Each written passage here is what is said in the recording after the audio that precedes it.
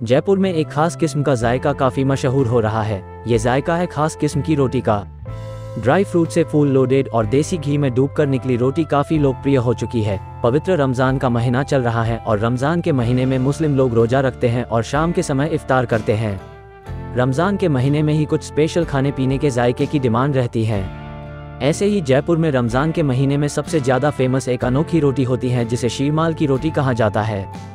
जयपुर के रामगंज बाज़ार में वर्षों से अपने पूर्वजों की विरासत को आगे बढ़ा रहे मोहम्मद साजिद बताते हैं कि ऊर्जा के स्रोत और स्वाद के रूप में शीरमाल की रोटी को रोजेदारों में खूब डिमांड रहती है। शीरमाल की रोटी की यह सबसे खास बात होती है।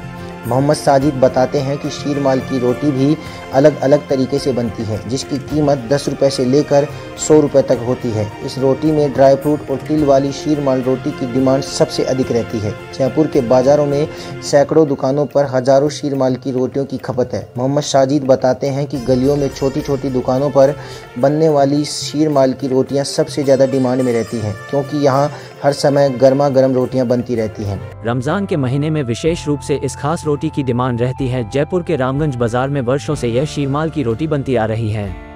इसे कैसे तैयार किया जाता है, यहाँ देखे पूरा प्रोसेस।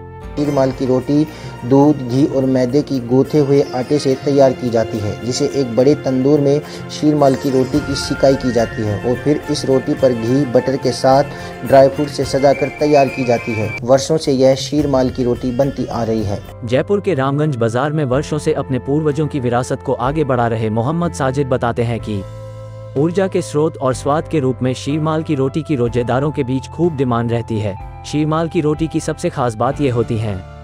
शीरमाल की रोटी भी अलग अलग तरीके से बनती है जिसकी कीमत दस रुपए से लेकर सौ होती है। शीरमाल की रोटी में ड्राई फ्रूट और तिल वाली शीरमाल की डिमांड सबसे ज़्यादा में रहती है।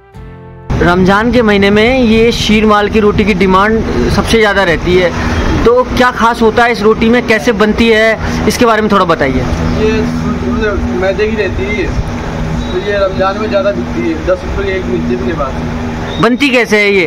ये इसमें मैं चीनी पड़ता है घी पड़ता है और ये डालडा वालडा पड़ता है इसमें यही सब पड़ता है। तंदूर में बनती है स्पेशल तरीके हाँ, से? तंदूर में बनती है स्पेशल तरीके से। कढ़ाई में बनते हैं फिर एक, एक आपके पास कितनी डिमांड रहती है अभी तन इसकी सीर माल की रोटी की? कम ढाई सौ के आसपास।